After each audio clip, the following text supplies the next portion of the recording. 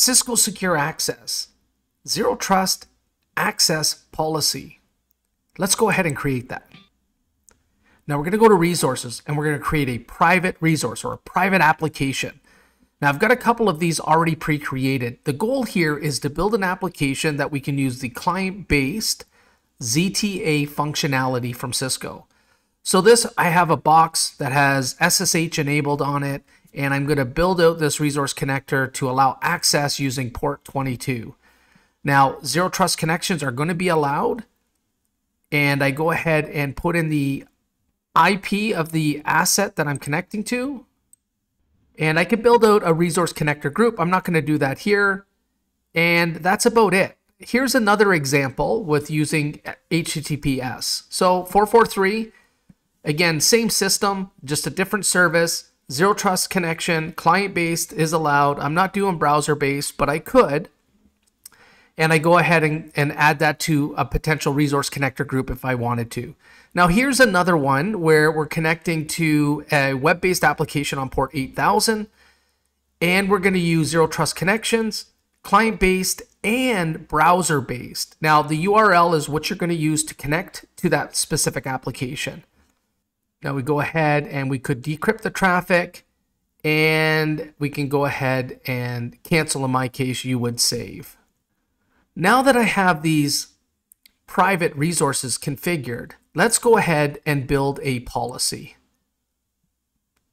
So we'll go to policy, access policy. And again, I've got a couple created here. Now, very quickly, you can start seeing some things that provide quick insight in the use case itself. So, for example, access highlights whether it's internet or a private based application. So you can see that very quickly. And then actions and sources, destinations, uh, obviously, those are valuable attributes to build policy. But like I said, the big thing here is having a quick understanding is it internet based traffic versus private application access? All right, so let's check out this rule. This rule here is for private application access. We give it a name, we say allowed, we'll grab a user or a group. In this case, we're gonna grab a, a user and we're gonna add all three applications to this particular policy. Now we can use the posture profile defaults that are included. Here's where you can select any specifics that you might have, both for the client and the browser. So you can see that here. And we can go ahead and add user authentication requirements. In this case, we're going to go ahead and hit next.